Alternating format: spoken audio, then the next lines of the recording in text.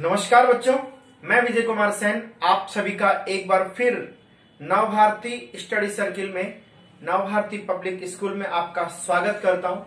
और आज हम chapter first, commerce section, class eleventh की बात कर रहे हैं। कक्षा ग्यारह, वाणिज्य वर्ग का चैप्टर फ़र्स्ट की बात कर रहे हैं, चैप्टर एक की बात कर रहे हैं। और फ़र्स्ट चैप्टर जो है फ़र्स्ट चैप्टर में आज का जो हमारा टॉपिक है, आज का हमारा टॉपिक है पेशा, व्यवसाय और नौकरी।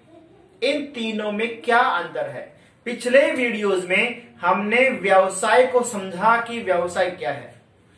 व्यवसाय के बाद हमने पेशा को समझा कि पेशा क्या है। पेशा के बाद हमने रोज़गार को समझा कि रोज़गार और नौकरी क्या होती है। उसकी क्या विशेषताएँ होती है?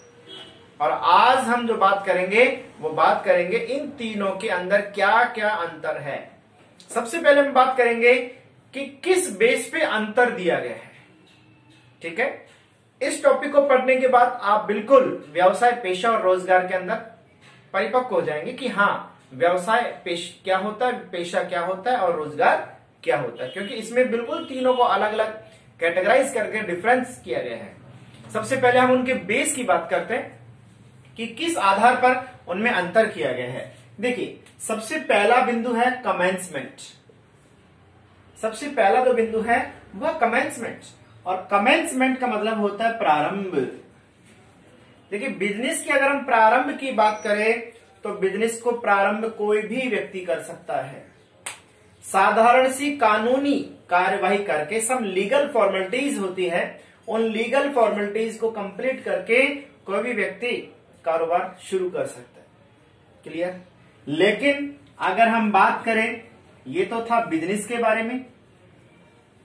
अगर हम बात करें प्रोफेशन की तो प्रोफेशन में ऐसा नहीं है कि कोई भी व्यक्ति प्रोफेशन शुरू कर दे। नहीं, कोई भी व्यक्ति प्रोफेशन शुरू नहीं कर सकता। क्यों नहीं कर सकता? क्योंकि प्रोफेशन के लिए आपके पास एक प्रमाण पत्र होना ज़रूरी है।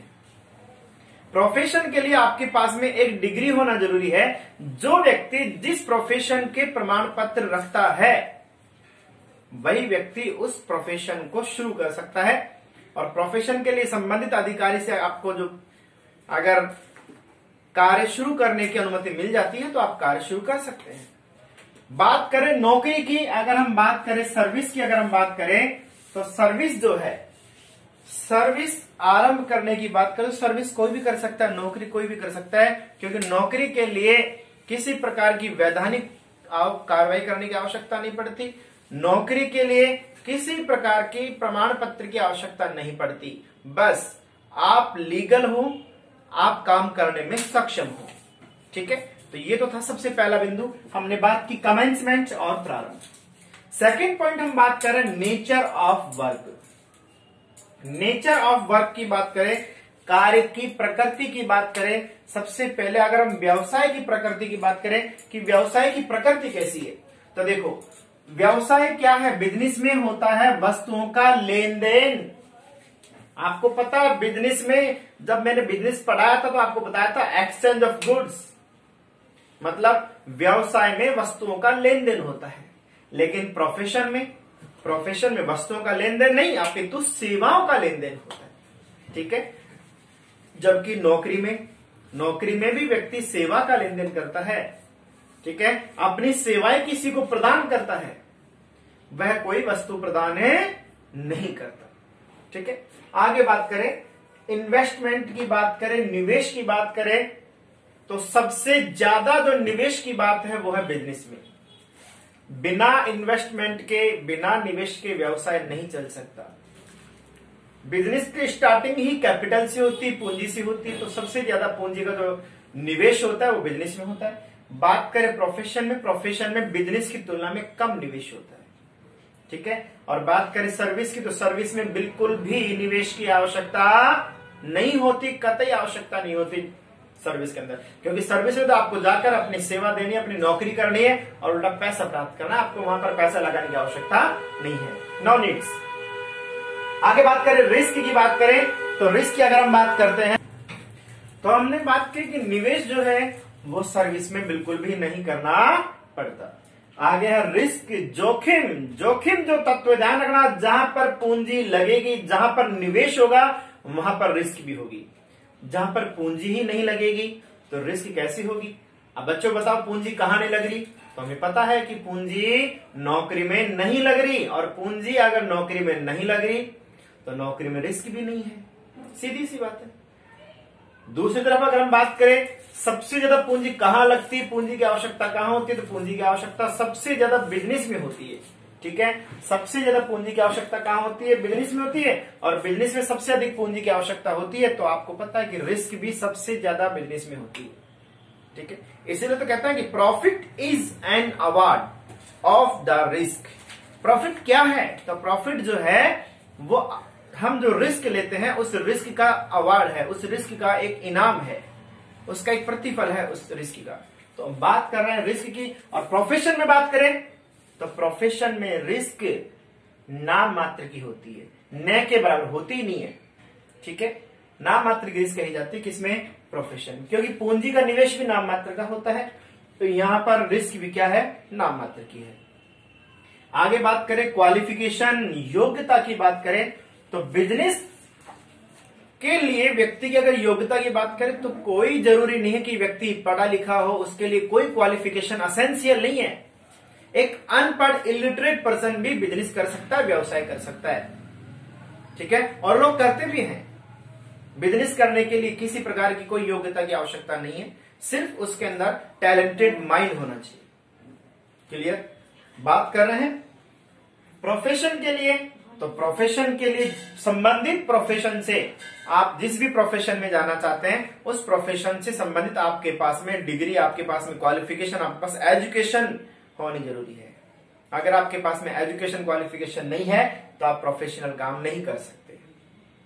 बात करें सर्विस की तो सर्विस के लिए भी क्वालिफिकेशन अकॉर्डिंग टू वर्क जैसा काम होता है उसके अकॉर्डिंग क्वालिफिकेशन चाहिए। ज़्यादातर सर्विस के लिए है नॉर्मल जो एजुकेशन उसकी नीड होती है। लेकिन आप किसी अच्छी नौकरी करना चाहते हैं किसी गवर्नमेंट जॉब में जा, जाना चाहते हैं ठीक है? क्योंकि नौकरी तो आर एस ऑफिसर की भी है नौकरी तो आई की भी है वो भी नौकरी है। ठीक है? तो यहाँ पर मैं कहना चाहूँगा कि नौकरी के लिए अकॉर्डिंग टू वर्क एजुकेशन की क्वालिफिकेशन की आवश्यकता पड़ती है, ठीक है? बाकी एक जो चपरासी है, एक जो बाई जो काम करती है, वो भी नौकर है। उसके लिए कोई एजुकेशन की आवश्यकता नहीं है। लेकिन एक आरएस ऑफिसर है, एक आईएएस ऑफिसर है तो वो भी नौकर हैं। वो भारत सरकार के हैं। उनके लिए क्वालिफिकेशन एजुकेशन की आवश्यकता पड़ती है अकॉर्डिंग टू वर्क ठीक है? बात करें ऑब्जेक्टिव्स की उद्देश्यों की बात करें तो ऑब्जेक्टिव्स उद्देश्य बिज़नेस में जो व्यक्ति काम करता है बिजनेसमैन या बिज़नेस का उद्देश्य जो होता है आर्न प्रॉफिट प्रॉफिट कैसे कमाया जाए, ये उसका पहला उद्देश्य और प्रॉफिट के लिए काम करता है। प्रोफेशन की बात करें तो प्रोफेशन में service plus fees service plus profit कह सकते हो सर्विस देना, ठीक है? प्लस प्रॉफिट दोनों उद्देश्य काम करते हैं। सर्विस मोटिव भी काम करता है और प्रॉफिट मोटिव भी काम करता है। लेकिन अगर बात करें सर्विस के लिए तो यहाँ पर यहाँ पर रेमुनरेशन मोटिव है।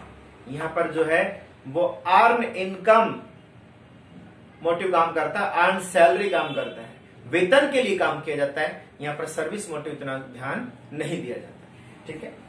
आगे बात करें कोड ऑफ़ कंडक्ट तो कोड ऑफ़ कंडक्ट की अगर हम बात करें तो कोड ऑफ़ कंडक्ट जो है तो यहाँ पर कोड ऑफ़ कंडक्ट जो हम बात कर रहे हैं तो बिज़नेस जो है बिज़नेस में कोई कोड ऑफ़ कंडक्ट की नीड नहीं होती। बिज़नेस में किसी प्रकार की आचार संहिता की आवश्यकता नहीं होती। लेकिन प्रोफेशन में बात करें तो प्रोफेशन में कोड ऑफ़ कंडक्ट होते हैं। नियमावली होती है। हर प्रोफेशन के अलग नियम होते हैं। उनकी हमें पालना करनी पड़ती है। ठीक है? लेकिन अगर हम बात करें सर्विस की तो सर्विस में जो समझौता जो होता है एग्रीमेंट जो होता है एम्प्लॉयर के बीच में और एम्प्लॉय के बीच में जो समझौता होता है, वही समझौता ही कोड ऑफ़ कंडक्ट होता है। तो बच्चों, एक बार आप इन सभी को जो difference among business profession and employment basis of difference मैंने जो बेसिस लिखे, इनको लिखें, इनको एक बार छाप लें और इनके आधार पर आप खुद भी तैयार करें कि यस अगर आपने मेरे पिछले वीडियोस को ढंग से देखा है तो मैं पूरे दावे के साथ कह सकता हूँ कि आपको डिफरेंस याद नहीं करने पड़ेंगे। क्यों? क्योंकि उनमें इसको क्लियर किया गया कि what is the business what is the profession and what is the service और उसी के बीच में आप डिफरेंसेस दिए हुए हैं, ठीक है? तो उम्मीद करता हूँ आपको ज़रूर समझ में आया होगा। फिर मिलते हैं एक नए वीडियो के साथ, एक नए टॉपिक के साथ। तब तक के लिए जय हिंद, जय भारत।